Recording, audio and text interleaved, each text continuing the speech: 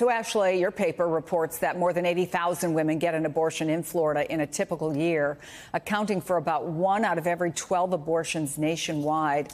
Talk about the impact this one state will have. Uh, on women, not only in Florida, obviously, but listening to Marissa and reading uh, the reporting of your paper, women all across the Southeast.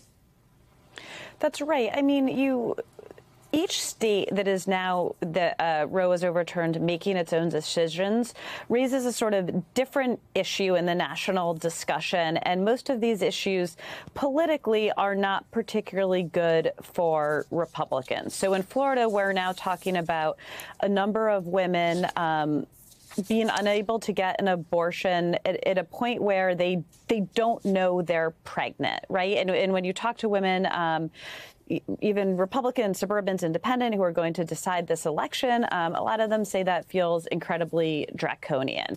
You have other states where the discussion is now, um, depending on the laws, about women who are unable to get an abortion, um, not because they don't want the baby, sometimes because they desperately do want the baby, but it's a risk to their health. So women who are enduring uh, horrific health consequences because they can't get an abortion. That, again, politically in states like Florida and elsewhere is not a discussion that that Republicans uh, want to be having. And it's worth noting that the Biden campaign, in um, a memo, said that in part because of what we're seeing in Florida, they think Florida is now, quote unquote, winnable. Florida is a state that had largely been written off uh, the political map. Trump won it twice. Uh, governor DeSantis uh, for governor won it by huge margins. You know, it's also worth saying that even when Democrats would privately tell you they didn't think they could win in Florida, they still sort of publicly said, we're going to play there. We want to make Republicans uh, spend money, but this gives them um, one more tool in their arsenal to to either really believe that Florida is in play or at least force Republicans to really fight them there.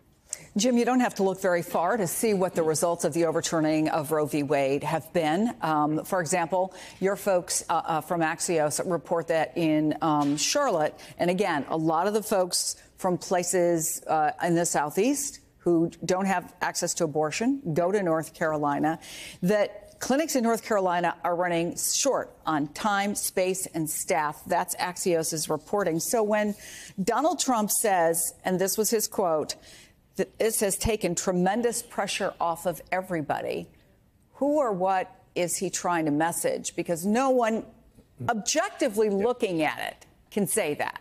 I think he probably is talking about himself. He's trying to take pressure off himself from a political perspective. And, and listen, it's a very political topic. There's no doubt that the president and, and, and the uh, and the vice president feel very strongly about this as a policy measure. But if you look at the last off year election, if you look at even some of these special elections, abortion has been a very powerful motivator for Democrats, particularly women voters who've been gravitating uh, towards the Democratic Party.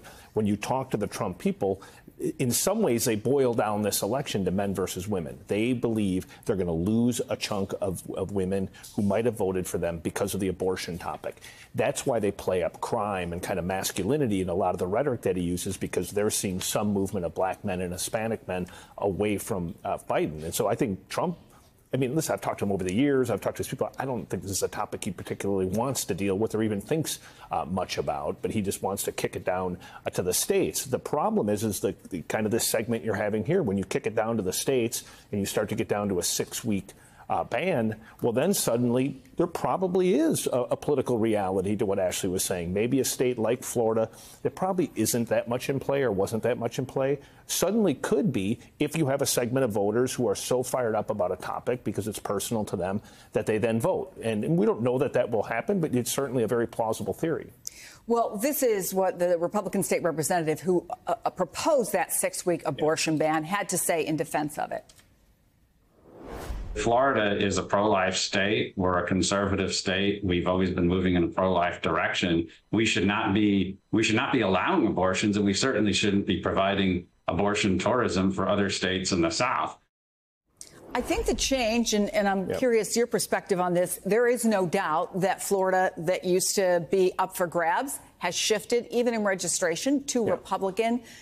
Being Republican doesn't always align with being necessarily conservative or being against yeah. abortion rights, even if you are personally opposed to abortion.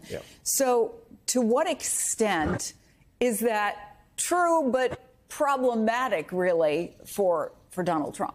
Again, it's it, it, this isn't at its essence a political topic, but it is. Uh, I mean, could, could Joe yeah. Biden make a real play for Florida? Maybe, but even in the other states, I'd be a lot. If I'm a Republican or I'm a Democrat, the, listen, the election.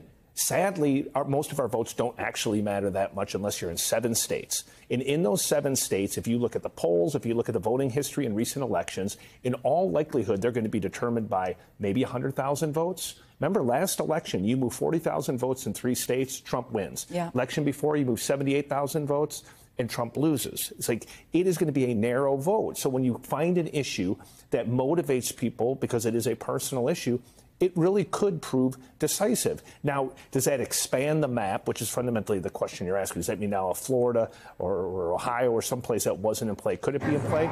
Possibly, but Florida's become very, very conservative in recent years and really kind of in a very fast way moved towards the Republican column. So, Dana, let's move to Arizona. What can we expect to happen with that 1864 abortion ban?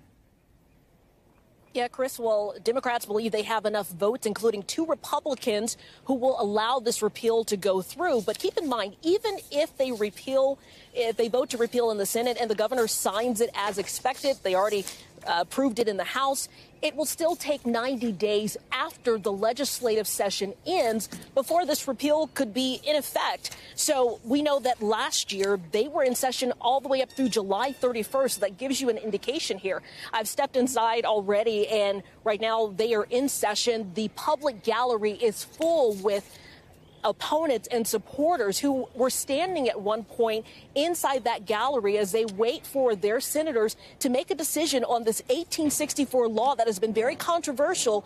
And most people in the state of Arizona overwhelmingly have said they want at least some access to abortion, whether it's for 15 weeks or at least allows for rape and incest. So we'll be watching. We're going to step inside. They believe they can pass this, but also one Democratic senator told me that she's cautiously optimistic because there could be stall tactics, which they have seen in prior weeks that have happened. So they hope that they can push this vote through. We are told that that could come down within the next couple of hours, and it would be huge. There's no indication that Governor Katie Hobbs is willing to sign it today.